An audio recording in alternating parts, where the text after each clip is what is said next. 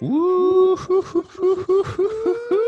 my boy, how's it going? Gregos, how's it going, my man? yes, I'm brilliant, my brother. How about you, buddy? Yeah, bad, very well. Thank you very well. It's been a while since you and I have chatted, but it's uh, yeah, been a nice catch up before this. So, um, yeah, man, I'm really excited. Uh, today we're doing our superhumanship episode off the back of chatting to Beau Miles last week, and uh, Beau Miles um, is an award-winning filmmaker He's a polyjobist and a doctor of philosophy, and he's a guy who absolutely loves setting himself challenges, and he's done some quite remarkable things. Um, and and you know we had some great takeaways from that conversation.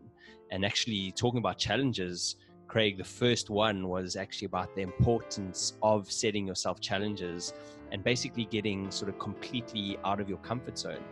And I don't know. I just love this whole philosophy because there's so much that you learn when you set yourself a challenge. You know, we kind of go through day to day life, just kind of like going with the flow of things and never really kind of step outside of that comfort zone and, and, and look at our day to day lives and go, how can I actually make this more exciting? What can I learn from you know my day-to-day sort of routine and uh, make this some sort of challenge and some sort of learning experience. And you know life does get really really kind of exciting when you start pushing the boundaries and, and challenging that status quo. And I, I think that there's just so much that you can learn from setting yourself challenges and you can like improve your skills you can just understand things better and you can have like rather profound experiences from this. And the, the thing that I really, really dig about challenges is because you're the one that's setting them, like the outcome doesn't really matter, you know, like there's no failure, there's no right, there's no wrong.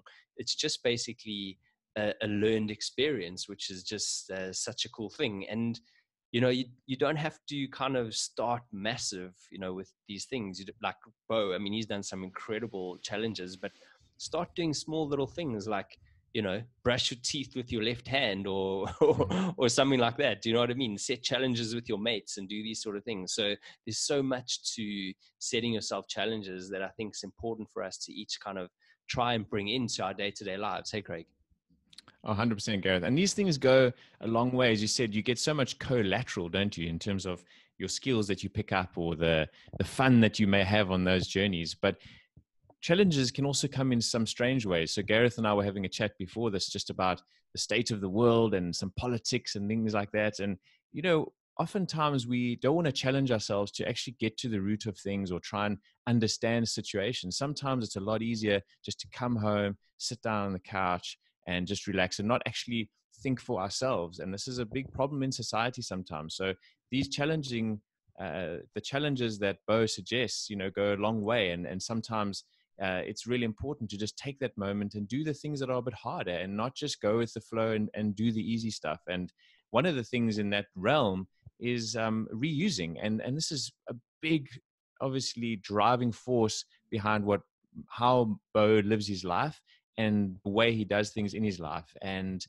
what he's he's really on about is like we all know that we use a lot of we we users as human beings we consume a lot and there is a there's a time when that's just not going to be okay and we've probably reached that a while ago already you know and he's uh, one way of challenging yourself is just to try and upcycle in some way shape or form or at least start experimenting small. So we all know about like you know reusable cups and things like that but he he and recycling and, and things like that but he he takes it a lot further. He he wants to take um, uh, make things and buy things that are going to be with him until he's like 100 years old. You know, he's going to have it his whole life. And I think it's a massive, uh, up, uh, it's a massively important thing for us to all explore more. Like, how can we take things that we use uh, for granted and throw away and get new ones? How can we change that narrative that we've created for ourselves in the stuff that we use? And where can we maybe just challenge ourselves in a way of uh, thinking ahead. So, in other words, it doesn't always have to be that you can build your own house or something like he can do. You know, he's very skilled with these things, but it can be just thinking ahead. Okay, I'm going out for lunch today, or, or for when I'm prepping my food for the week. Maybe just take my actual knife and fork with from home and not necessarily just go and buy a plastic one. So it's it can be as simple as just having some forethought and the desire uh, to do something like this and, and, not necessarily needing thousands of crazy skills. And I think this is really the message that Beau's kind of uh, um, all in on, isn't it, Gareth? Yeah, for sure, Craig. I think it's the that element of not taking the the easiest path. Do you know what I mean? Like, mm. so, so how can I almost make this a little bit difficult? Like you said, you know, let me take in my own knives and forks to work every single day, my, my metal pair of knives and forks. And uh, instead of getting the ones that are given to me by the shop that I buy them at, that I'm just going to literally throw away as soon as I'm finished with them. Because off, if I take my own ones in, uh, I then have to wash them afterwards because I have to reuse them and, and you know I have to mm. wash them, go to the, the toilets or whatever to wash them or to maybe have a sink in your office sort of thing. So it's, it's taking that difficult part path that that that's the you know one of the big things which i think that he he says is important and and you know like just to give maybe one other quick example is like you know instead of driving to work he walked to work. Like you know that's mm. crazy. Like you know most of us just take that easy path and we we it's we, we just conditioned to do it. But um what can you do that is not necessarily going to cost you money or whatever that you currently do every single day? And how can you slightly change it to uh, challenge yourself and, and learn from? And i just think this is such a great way you know for for doing things in life because then it also leads on to other parts of your life too you know you start actually becoming just a, a, bit more aware maybe you know of your actions and i think i think that's like a really sort of powerful outcome as well and uh, talking about this craig i mean one of the ways that he does this, of course, is through his storytelling, and he has rather amazing storytelling skills. And that was like a real big thing that we picked up, wasn't it? Oh, massively. And the nicest thing when someone can tell a good story and you're just captivated and listening to every word, but you don't pick up any sort of uh, preachiness or hierarchy or any of these kind of things and this humility comes through.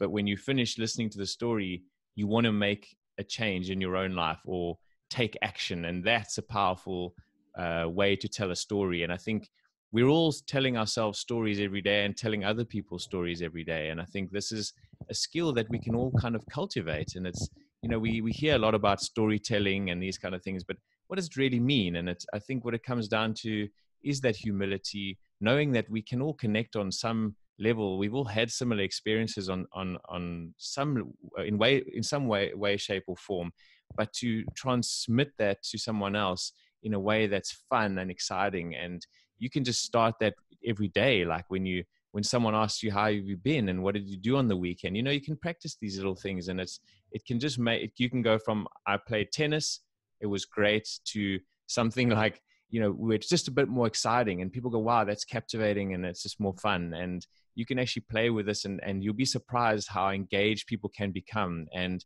the other thing with storytelling is like what what is the story that you kind of tell yourself about who you are yourself? And and what does that really mean? Who are you? But then for, based off the back of that what is the story we transmit to others? What who are you when you ask your mom and dad or your friends? Who do they see when you ask what is the story of Craig, you know, for example? And this is a really interesting sort of concept to me and, and to Gareth because it's like the actions that we do day to day uh, basically what other people see and that's based off how we sort of see ourselves on some level. But we're also transmitting something to others. When we're sitting alone at home what is that what is that story? Who am i then? And, and is there a big difference?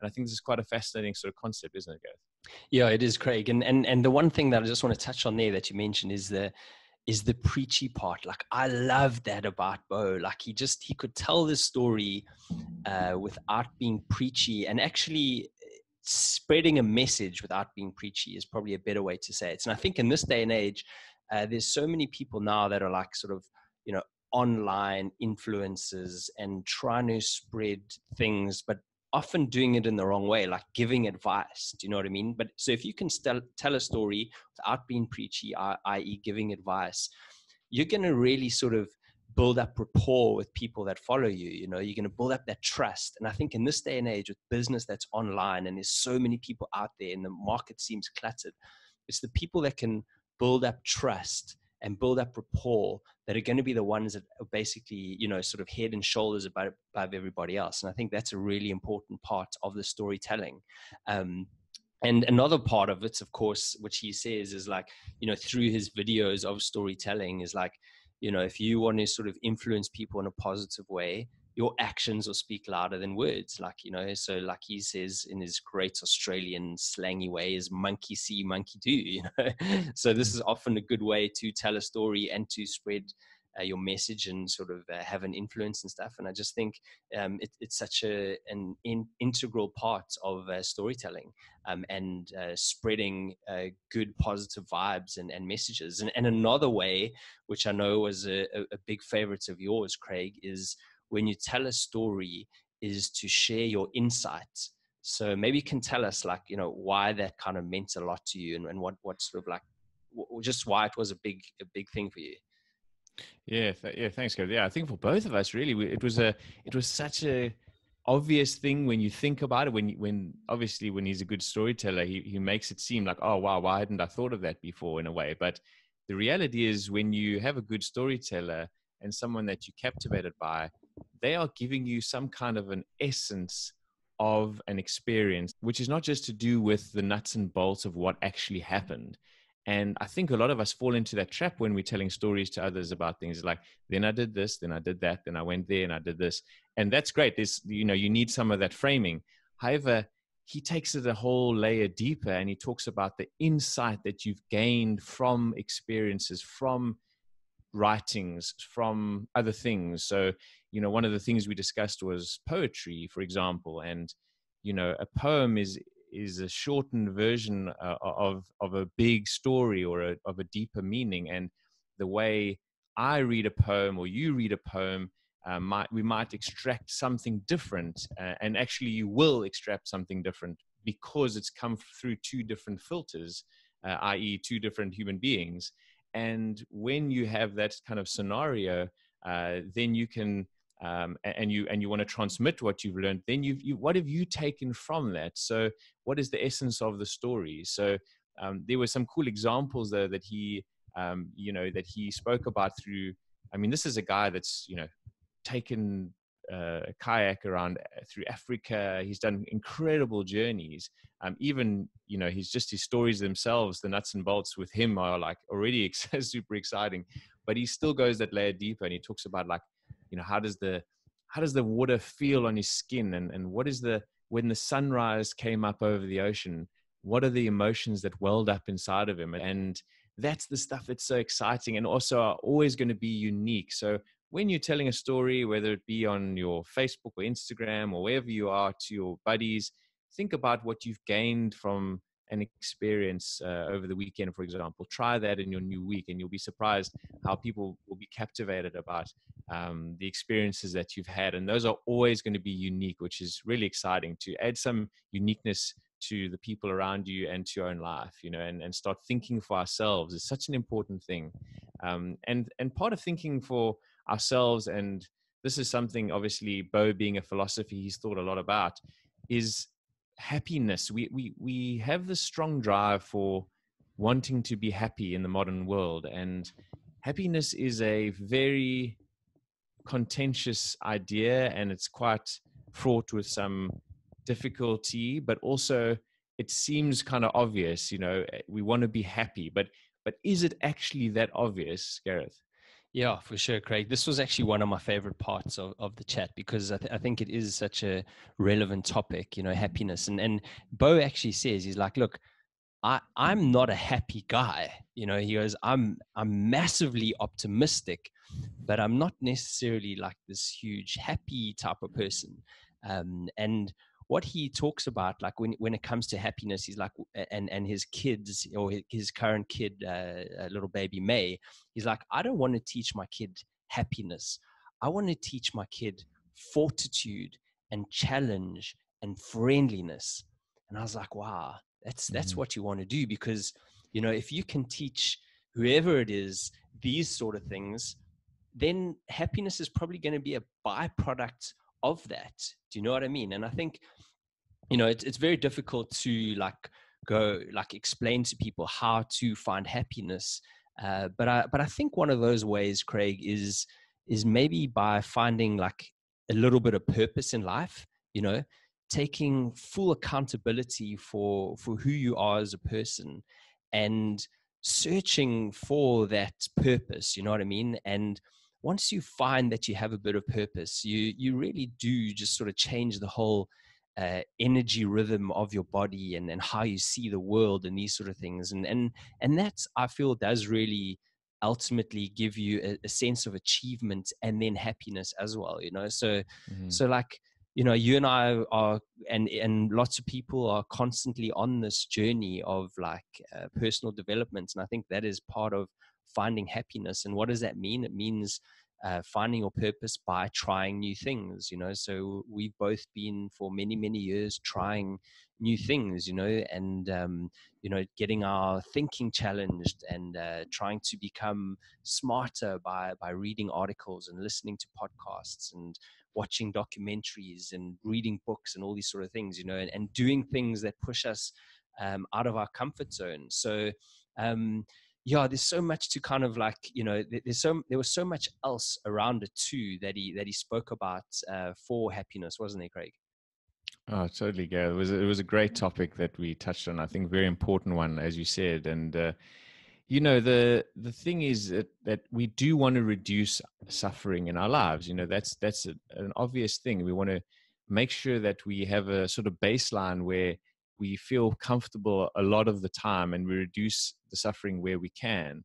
But as you said, that's not necessarily meaning that we are happy uh, all the time. But one way to try and tap into small amounts of happiness all the time is exactly that is just finding joy and contentment and peace in the small things. So, you know, when you wash the dishes, take a moment to just be grateful that you're there and and are you know you can actually do this and and find some find some enjoyment in the tasks in the process of things uh, and not just reaching a point because um, we often think when we get the car or the house or the girl or whatever it is that's going to be it you know now i'm happy. And the reality is that you're going to have that and then it's going to go and then you'll have it again and it'll come and go and that's okay that that's that's the whole point is that it's not just the striving on this linear sort of path to happiness and one day we'll reach it and we'll be there and i think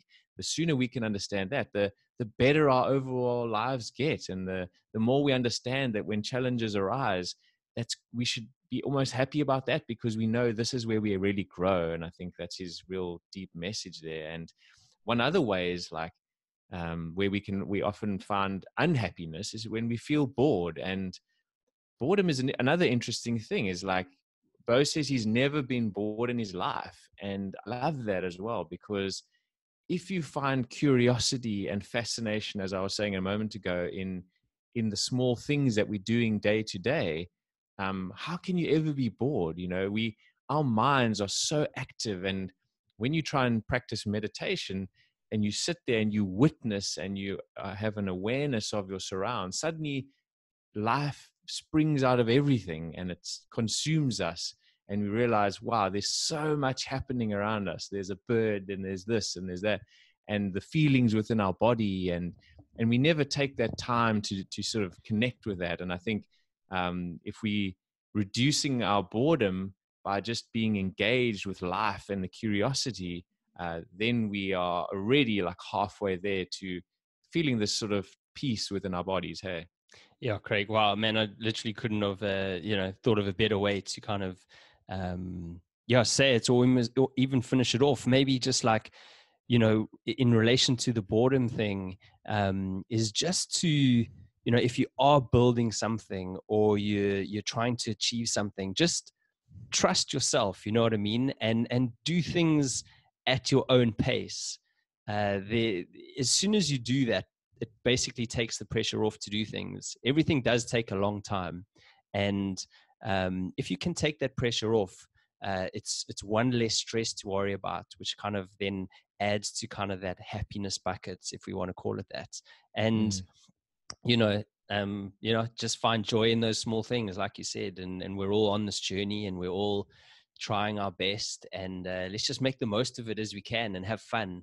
And uh, like Beau says, like you know, practice that friendliness. It doesn't sometimes to uh, to get receive happiness or to be happy. You just actually need to maybe give a smile or say how's it, mm-hmm. hello to somebody, and and it's those little things, you know. So um, I must say, what an what an amazing chat. That's for sure. Uh, mm-hmm. We we learned a lot. These are just like you know maybe say our top three things. There's so much more in that conversation, hey Craig, and um, mm. we really encourage everybody to go and listen to that chat and to also follow Beau. His YouTube channel is insane. Go and do yourself a favor and get lost there for a few hours. Um, so yeah, and thank you, Craig, as well as always. Um, fantastic chat. Uh, it's great to see your face again. It's been a while since we chatted, buddy. Um, and uh, just wishing everyone that's listening an amazing rest of the week. Cheers. Cheers, everybody. Waking at dawn, packing the gear.